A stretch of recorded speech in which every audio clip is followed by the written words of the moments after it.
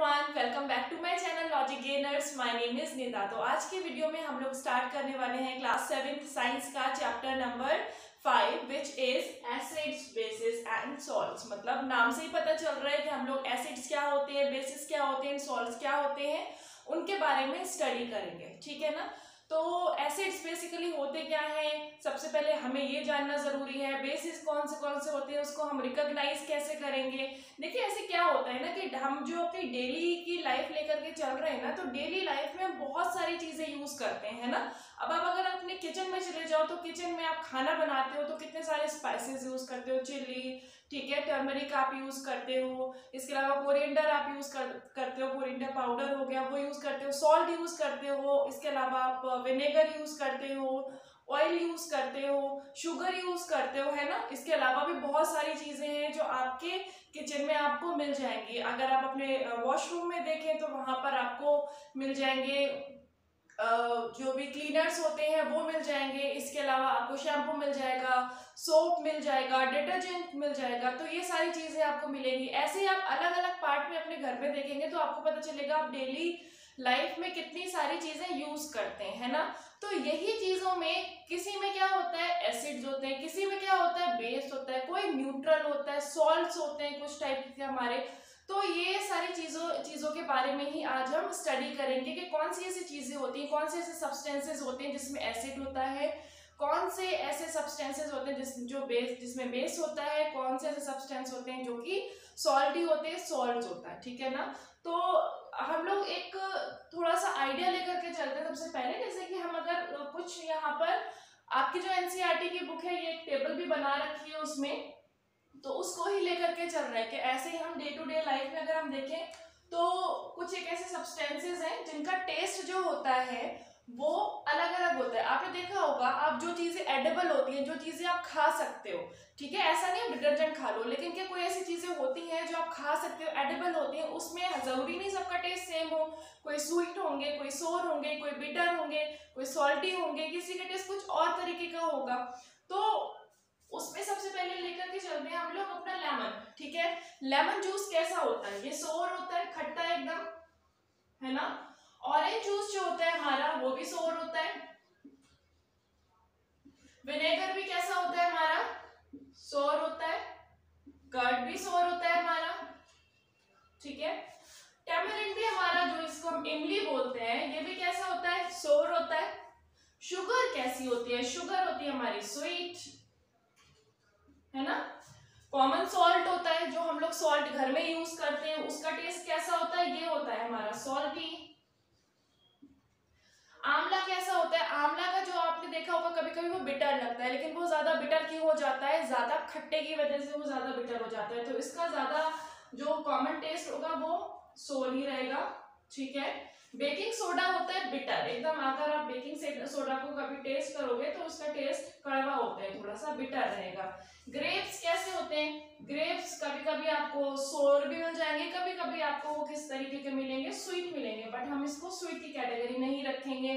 जो unread mango होते हैं मतलब जो कच्चे आम होते हैं, जिसको हम कैरी भी बोलते हैं, उसका टेस्ट कैसा होता है? उसका टेस्ट भी कैसा होता है? सोर होता है। तो इस टेबल से हमें क्या पता चल रहा है? इस टेबल से हमें ये पता चल रहा है कि जो भी सब्सटेंसेस होते हैं, जो हम खा सकते हैं, जो एडेबल होते हैं, उनका सबका टेस्ट एक जैसा नहीं होता है। उनका सबका टेस्ट अलग अलग होता है। अब ऐसा क्यों होता है कि किसी का टेस्ट खट्टा है, किसी का टेस्ट मीठा है, कोई बहुत ज़्यादा बिटर है, बहुत ज़्यादा कड़वा है, कोई सॉल्टी है, ठीक है? तो ये टेस्ट से हम लोग चेक कर सकते हैं कि कौन से ऐसे सब्सटेंसेज हैं जिसमें एसिड है कौन से ऐसे सब्सटेंसेस हैं जिसमें बेस है? ठीक है? तो अब हम एसिड्स और बेस के बारे में एक बार पढ़ लेते हैं कि एग्जैक्टली exactly वो हम लोग कैसे रिकॉग्नाइज करेंगे और वो होते क्या? ओके एसिड्स एंड बेसिस के बारे में अब हम लोग देख लेते हैं। Curd lemon juice vinegar taste sour. मतलब ये जितने भी कर्ड हो गया लेमन जूस हो गया विनेगर हो गया, इनका टेस्ट कैसा होता है? सार होता है थोड़ा सा खट्टा होता है। तो इससे हमें क्या पता चलता है कि जो भी ऐसे सब्सटेंसेस होंगे ना जो खट्टे होंगे टेस्ट में अगर आप टेस्ट करके देखोगे और वो खट्टे हैं तो इसका क्या मतलब है कि उसके अंदर क्या होगा? एसिड होगा। These substances taste sour because they contain acid इनके अंदर क्या होगा? एसिड होगा। तो आप लोग टेस्ट करके इजिली फाइंड आउट कर सकते हैं कि कौन से ऐसे सब्सटेंसेस हैं जिन जो कि एसिडिक होंगे, जिनके अंदर एसिड होगा। The chemical nature of such substances is acidic इनका जो केमिकल नेचर होता है मतलब जब ये रिएक्शन करते हैं तो इनका नेचर हमेशा एसिडिक रहता है। एसिडिक से क्या समझते हैं? एसिडिक एक लैटिन वर्ड से निकल के आया है, जिसका जो है एसर ठीक है? और ये क्या होता है एसिडिक मीन्स क्या हो गया कि एक बर्निंग इनके अंदर कैपेबिलिटी होती है कि ये बर्न कर देते हैं। अब बर्न करने से आप लोग ये मत समझिए कि भाई आप लेमन जूस पियेंगे तो आपका गला ही अंदर से बर्न हो जाएगा। ये जो नेचर ने हमें एसिड दिए हैं, जो ऐसे एसिड है जो कि नेचर से प्रोवाइड किए गए हैं, इनके अंदर बर्निंग कैपेसिटी होती नहीं है। अगर होती भी है तो बहुत ज़्यादा कम होती है, एक तरीके से कह लो माइल्ड होती है, ठीक है ना?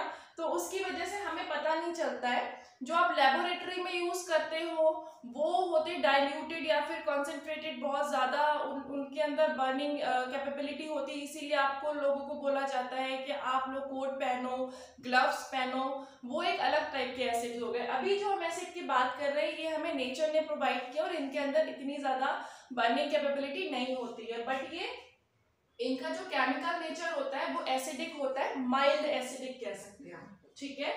नेक्स्ट आता है हमारा substances which are bitter in taste कैसा होगा? बिटर एंड फील सोपी अगर आप इसको टच करोगे तो थोड़ा सा सोप सा, थोड़ा चिकना चिकना सा लगेगा ये और फिर ये अगर टेस्ट करोगे तो ये कैसा होगा? बिटर होगा. तो इस टाइप की जो भी चीज़ें होंगी, वो हमेशा बेसिस होते हैं, ठीक है? वो बेस में आएँगे. जैसे कि आपका बेकिंग सोडा, अभी हमने देखा था ना, बेकिंग सोडा का टेस्ट कैसा होता है? बिटर होता है। वो आप टेस्ट करोगे तो वो बिटर होगा और अगर आप उसको टच करोगे, थोड़ा सा सोल्यूशन बना करके वाटर के साथ में तो थोड़ा सा सोपी लगेगा वो। तो उससे क्या पता चलता है कि वो बेस की कैटेगरी में आता है। वो एसिडिक नहीं होगा, वो बेसिस होंगे। ठीक है?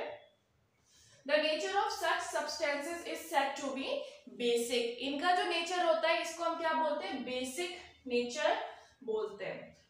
अब हम लोग एक पॉइंट यहाँ पर ये आता है कि अब हमें टेस्ट करने से तो पता चल गया कि भाई जो बिटर है, वो तो बेस है और जो कैसा है, सार है, वो एसिड है।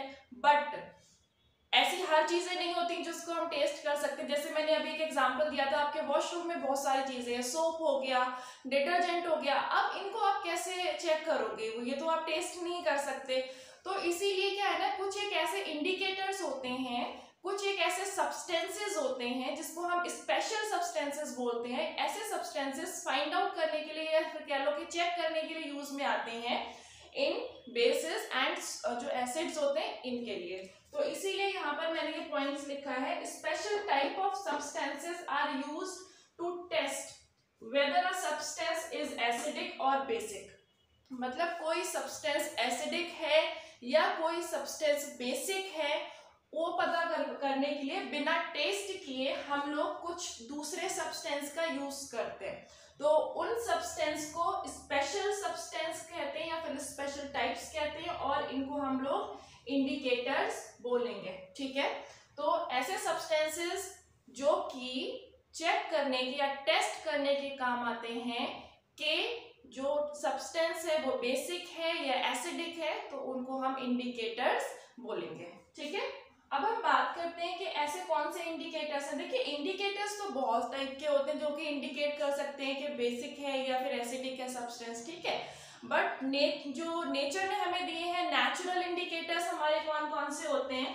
वो हो गया हमारा turmeric litmus paper China rose, जिसको हम लोग बुलर भी बोलते हैं तो चाइना रोज की जो पेटल्स होती है, ये भी यूज़ में आती हैं सब्सटेंस को टेस्ट करने के लिए। तो ये कुछ हमारे नेचुरल इंडिकेटर्स होते हैं, ठीक है? तो ये किस तरीके से इंडिकेट करेंगे, किस तरीके से टेस्ट करेंगे हमारे सब्सटेंसेस को, वो हम कंटिन्यू करेंगे हमारी नेक्स्ट वीडियो में। अभी जो हम इस वीडियो में पढ़ने वाले हैं, वो ये कि जो हमारे एसिड्स होते हैं या फिर जो हमारे पेस्ट होते हैं, वो किस किस चीज़ में हमें मिलते हैं, कौन कौन से सब्सटेंसेस में मिलते हैं और किस टाइप के, कितने टाइप्स के एसिड्स होते हैं और कितने टाइप के बेस होते हैं, ठीक है? उसके बारे में हम लोग एक बार देख लेते हैं। कुछ नाम है हमारे, कुछ एसिड के और कुछ बेस के। इसमें एक कॉमन चीज़ ये है कि जितने भी एसिड्स हैं यहाँ पर, या फिर जितने भी बेस हैं, ये सारे के सारे ऑर्गेनिक होते हैं और नेचर ने हमें प्रोवाइड किए नेचुरल रहते हैं, ठीक है ना? तो सबसे पहले होता है एसिटिक एसिड तो एसिटिक एसिटिक एसिड की अगर हम बात करते हैं तो हमें ये विनेगर से मिलता है। विनेगर इज़ नेचुरल सब्सटेंस ठीक है? तो ये कहाँ पर होता है? एसिटिक एसिड हमेशा विनेगर में मिलेगा। जब हमें कोई भी एंट वगैरह कोई चीटी काटती है तो क्या होता है? तो उस टाइम पर जो पार्ट होता है, जहाँ पर भी वो बाइट करती है तो उस पार्ट पर कुछ रेड रेड सा एक पैच बन जाता है, ठीक है ना? तो वो किसकी वजह से बनता है? वो एक एसिड की वजह से बनता है। उस एसिड को फॉर्मिक एसिड बोलते हैं। और हमारा थर्ड हो गया साइट्रिक जितने भी साइट्रस फ्रूट होते हैं, जैसे मतलब जो खट्टे वाले फ्रूट होते हैं, जैसे लेमन हो गया ऑरेंज हो गया तो इस टाइप के जो भी हमारे फ्रूट्स होंगे, उसमें हमें साइट्रिक एसिड मिलता है। कर्ड जो होता है कर्ड में हमें कर्ड क्योंकि आपको पता है बैक्टीरिया की वजह से बनता है तो उसमें जो एसिड रिलीज़ होता है that acid is called lactic acid इसको हम लैक्टिक एसिड बोलते हैं। स्पिनच हो गया हमारा, स्पिनच में ऑक्जेलिक एसिड होता है, आंवला हो गया या फिर दूसरे और भी बहुत सारे, कुछ इस हद तक खट्टे हो जाते हैं ना कि मतलब कि कड़वे से लगने लगते हैं खट्टे होने की वजह जैसे कि आंवला हो गया। तो उन सब में हमें एक्सकॉर्बिक एसिड मिलेगा, ठीक है? जिसमें विटामिन सी ज़्यादा होता है, ठीक है? ऐसे जो भी फ्रूट्स होंगे जिसमें सबसे ज़्यादा विटामिन सी होगा तो उसमें हमें हमेशा एस्कॉर्बिक एसिड मिलेगा। एक हो गया टर्टरिक एसिड टर्टरिक एसिड जो जैसे कि टैमरिंड हो गया ग्रेप्स हो गए अनरिप मैंगोज हो गए, जो खट्टे वाले, कच्चे वाले आम आते हैं ना, कैरी जिसको बोलते हैं, इन सब में हमें टर्टरिक एसिड मिलता है। ये सारे के सारे नेचुरल एसिड हैं। बिल्कुल भी इसमें कोई भी केमिकल्स वगैरह यूज़ नहीं होते मतलब कोई भी आर्टिफिशियल नहीं है, ये सारे के सारे नेचुरल रहेंगे। उसी तरीके से अगर हम बेस की बात करें तो जो हमारा लाइन वाटर होता है मतलब चूने का जो पानी होता है, आपने चूना देखा होगा नॉर्मली चूना पान में देख लो अपने व्हाइट कलर का जो होता है, ठीक है? तो उसका जो वाटर होता है लाइम वाटर उसमें हमें कैल्शियम हाइड्रोक्साइड मिलता है, ये बेस होता है, ठीक है? इसको अगर आप टेस्ट करोगे तो ये क्या होगा बिटर होगा थोड़ा और ये सोपी भी रहता है। विंडो क्लीनर जो होते हैं, आपने देखा होगा, बहुत सारे क्लीनिंग के लिए आते हैं स्प्रे वगैरह आप करते हो विंडो वगैरह को क्लीन करने के लिए तो उन क्लीनर में हमें अमोनियम हाइड्रोक्साइड मिलता है। ठीक है, ये भी एक बेस है। ये जो हाइड्रोक्साइड वाली चीज़ें है ना, ये बेस के अंदर में आती है ज़्यादातर। सोप जो है हमारा सोप भी क्या हो गया? थोड़ा सोप ही वैसे ही रहेगा, और अगर आप टेस्ट भी करो तो कड़ा ही होगा, ठीक है? तो सोडियम हो गया पोटेशियम हो गया पोटेशियम एक बहुत ही ऐसा बेस होता है जो थोड़ा सा डेंजरस होता है तो उसको हम लोग ऐसे यूज़ नहीं कर सकते। उसके लिए बहुत सारे प्रिकॉशंस लेने पड़ते हैं जब हम पोटेशियम को यूज़ करते हैं। आगे इस लास्ट में हमारा मैग्नीशियम हाइड्रोक्साइड ये मिल्क ऑफ़ मैग्नीशिया में मिलता है। मिल्क इसको मिल्क ऑफ़ मैग्नीशिया क्यों बोलते हैं? क्योंकि जब हम इसको पानी में घोलते हैं ना, ये व्हाइट कलर का होता है और जब हम इसको वाटर में मिलाते हैं सोल्यूशन बनाते हैं तो ये बिल्कुल मिल्क की तरह लगने लगता है। तो इसीलिए इसको हम मिल्क ऑफ़ मैग्नीशिया बोलते हैं। इसमें ये भी हमारा हाइड्रोक्साइड है अगर आप देख रहे हो तो। जब uh, ये हाइड्रोक्साइड uh, जो होता है ये हमारा बेस की कैटेगरी में आ रहा है तो इस टाइप के जितने भी हमारे ये बेस हैं ये भी नेचुरल ही है। और ये एसिड हमारे जैसे कि मैंने भी बताया है ये एसिड ही रहेंगे। तो यहाँ तक तो हमने देख लिया कि हम एसिड को कैसे आ, uh, कौन कौन से एसिड्स होते हैं कौन कौन से बेस होते हैं। इंडिकेटर्स के बारे में बात कर ली हमने बट अब हम इंडिकेटर से ये चेक करेंगे कि किस तरीके से ये जो नेचुरल इंडिकेटर्स हैं, इनसे हम ये टेस्ट कर सकते हैं कि बेस कौन सा है और एसिड कौन सा है, ठीक है? तो वो हम कंटिन्यू करेंगे हमारी नेक्स्ट वीडियो में। आज की वीडियो आपको कैसी लगी, आप कमेंट बॉक्स में कमेंट करके ज़रूर बताइए। अगर अच्छी लगी हो तो इसको शेयर करिए अपने फ्रेंड्स के साथ में और लाइक करना बिल्कुल मत भूलिएगा। चलिए मिलते हैं अपनी नेक्स्ट वीडियो में।